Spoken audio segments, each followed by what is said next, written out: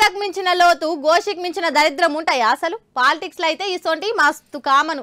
లీడర్లు చూడండి లోతులు దరిద్రాలుంటూ ఏ ఉండయి. ఒగాళ్ళున్నా ఎలక్షన్ టైంకు క్లియర్ చేసుకొని జనాల మధ్యలోకి వస్తారు.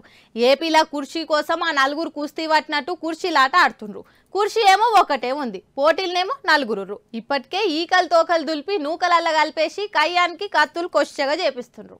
రాజకీయాలలో ఎప్పటిదప్పుడు చూసుకోవాలి. ఒకటే బండి మీద పోతా ఒక లైన్లోనే నడుస్తా అంటే తెలంగాణలో కార్ పంచర్ అయినట్టే అవుతుంది. ఇంకా కుర్చీ మీద కాయసుంటే మాత్రం ఎప్పటికప్పుడు లైన్ మారుస్తుండాలి. ఇగో ఏపీలో పార్టీల నడుమ రాజకీయాలు చూస్తుంటే అదే మాట యాదకొస్తుంది ఇప్పుడు. షర్మిల మేడానికి ఓటు బ్యాంక్ ఉందో లేదో తెలియదు అట్లనే ముందుగానే లెక్కలేసుకొని కూసుంటలేదు. మాక్సిమం ఓట్లు దక్కించుకోవాలని జనాలలో తిరుగుతున్నది. కొత్తగా వచ్చిన కోడి పిల్ల చోర్ అని వైసీపీలు ఎంత ఆట పట్టించినా ఆమె పనమే చేసుకుంటూ పోతున్నది. ఇంకో దిక్కు జగన్ సారు. సీఎం గా డెవలప్మెంట్ పనుల మీద ఎసొంటి నజర్ పెట్టిండో ఎలక్షన్ల మీద కూడా గంతే నజర్ పెట్టిండు. పోయినసారి కిర్రాక్ మెజార్టీతో గెలిచి సర్కార్ను ఫామ్ చేసిండు గానీ ఈసారి ఎట్లయితుందో అని ఆలోచన చేస్తున్నాడు. ఒక దిక్కు చంద్రబాబు సార్తో ఫైటింగ్ చేసుకుంటేనే ఇంకో దిక్కు చెల్లె షర్మిలం వేస్తున్న కౌంటర్లకు ఎన్కౌంటర్లు ప్రిపేర్ చేపిస్తున్నాడు. ఇక వీళ్ళిద్దరు కత్తిట్లుంటే చంద్రాల్ సార్ ముచ్చట ఇంకో తిరుగున్నది.